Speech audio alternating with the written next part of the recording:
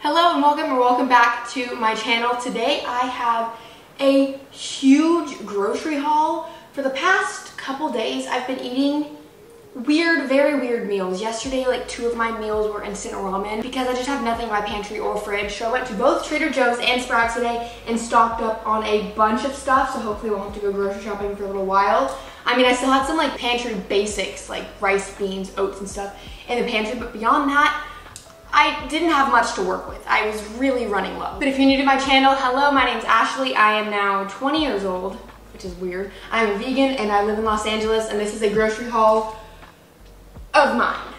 Let's get started. I'm gonna start out with Trader Joe's and normally I kind of start with produce and then move along, but since I have so much, I'm not gonna go through and separate it all, so we're just gonna pull things out of the bags and whatever comes out is what I'm gonna be talking about first. And first thing is some wild arugula. Arugula will never be my first choice of like a green ever, just because it's so strong in flavor. I like the flavor, I don't mind it on a lot of things, but it's definitely something I just don't use as much as like a spinach or romaine or anything like that because it's so specific in flavor, but I have a pasta salad in mind that I think this will work really well in, so I wanted to get some of that. Keeping it with the produce, I got a little thing of baby carrots. These are just not at all baby carrots. Whole carrots, unbaby carrots, because I want to make some spring rolls. I have like the rice paper wrapped up there, but I don't have anything to go in it. So I got a bunch of vegetables to put in spring rolls, and this is one of them. And then next I got some cherry, or I guess sugar plum grape tomatoes. And these I'm also gonna put in the pasta salad. Speaking of the pasta salad, again, the pesto from Trader Joe's, the vegan kale and cashew pesto, which is amazing, is going to be the dressing or sauce for my pasta salad. Vegan feta, also to go in the pasta salad. And then I got this big thing of sea salt fine crystals because one, I have an icy machine that requires a lot of salt and then two, my mom got me these super cute salt and pepper shakers for my birthday, so I want to be able to fill one up. I picked up some figs, which honestly, I really thought figs were only available in the fall. Maybe they're summer through fall. I have no idea. Either way, I'm not complaining though. I love figs. Haven't had them in a while. Cilantro also for the spring rolls, and then garbanzo beans also for the pesto pasta salad. And then the last thing in this bag are the rolled corn tortilla chips, chili and lime flavored. These are basically just the Trader Joe's equivalent of Takis, but they're about 500 times better than Takis. I will never, ever, ever buy Takis again in my life. I don't think if these exist. Now we're gonna move on to bag two of two from Trader Joe's. And on top is probably the thing that I'm most excited for. It is their hash brown patties.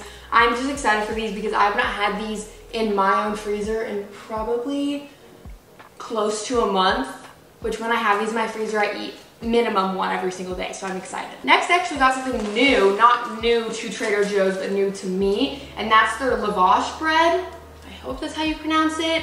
It is what they roll the hummus and veggie and the lentil, spicy lentil wraps from Trader Joe's in, and those wraps I love. I love those wraps so much more than any wrap with like a typical, just like normal tortilla. I think it's so much better. I like that they're thinner it's like less doughy. I don't know. I really, really like it, so I'm excited for these. And then for the spring rolls, I got both a orange bell pepper and some mini cucumbers. They had some mini, mini cucumbers there. I mean like the size of a little tiny baby dill pickle. I'd never seen those before but I definitely feel that I'll have much more uses for the bigger cucumbers. I got some organic white mushrooms and a single yellow like Yukon Gold potato. A bag of avocados that are rock solid, so I think I'm not gonna eat these for like a week. And then the last thing in this bag is a big thing of strawberries. Oh, actually the last thing from Trader Joe's though are their Ridge Cut Salt and Pepper Potato Chips.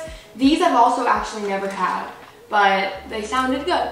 I mean, all potato chips sound good to me, so of course they sound good. Now it's time for Sprouts, and Sprouts I got, oh no! My greens are open. I think they're fine. Doesn't look like it's been touched at all, but I don't love that. Anyways, I got some power greens. To go on the power greens, I got this Mother Raw Organic Ranch style dressing and marinade. I think that I met with this brand at Expo West. I could be wrong, but I feel like I did, and I remember liking their products a lot. It is Oh, it's made mainly from olive oil, but I have no idea what to expect. There's been ranches, like vegan ranches that I really love, and then vegan ranches that are no good, so Hopefully this is one of the good ones. The Sprouts Vegan Yogurt Alternative in plain unsweetened. You've probably heard me talk about this a lot within the past couple months, but had to get another tub of this. And then also, the last thing in this bag is a block of firm tofu. Okay, in this bag, I don't really know what I have to say about these. I just found out today, randomly, I was just strolling through the chip aisle, that Sprouts also has their own version of Takis. The same exact thing is like the Trader Joe's replica, but it's the Sprouts brand. It also is chili and lime flavored rolled corn tortilla chips. They look the exact same. I am so excited to try these and I'm so excited to try them side by side with the Trader Joe's ones. I wish I knew the price difference. That'd be helpful, but either way, I'm excited. And then I also got some other new chips. I got a lot of chips in this haul because one, I'm having some people over tomorrow night, so I wanna have some snacks. And then two, Will always gets mad at me that I don't have snacks. So I got some chips. And these are jalapeno flavored veggie straws. Though whatever normal brand or like the most popular brand of veggie straws also has hot ones, but they have milk in it. But this is the Good Health brand and there is no milk to be found anywhere. So I think it's gonna taste really, really good. I can't wait to try these. A single red onion so I can pickle it. And then I also got some tempeh because I always get tofu and I wanted to switch it up. We're now on to the last bag from Sprouts. Starting out with some shoestring French fried potatoes. And I got two things of ice cream, also requested by Will. I got the Van Leeuwen oat milk brown sugar chunk with cookie dough, brownies, and candied oat clusters.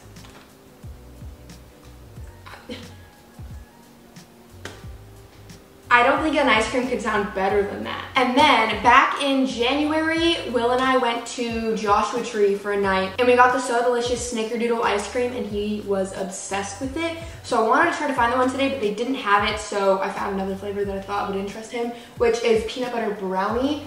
It's also their cashew milk, like, base and I've not had a So Delicious ice cream that I don't like, so I bet I'm gonna like this one too. I then got three boxes of the Banza spaghetti, and that's because I wanted to stock up this little container that I have already full of some.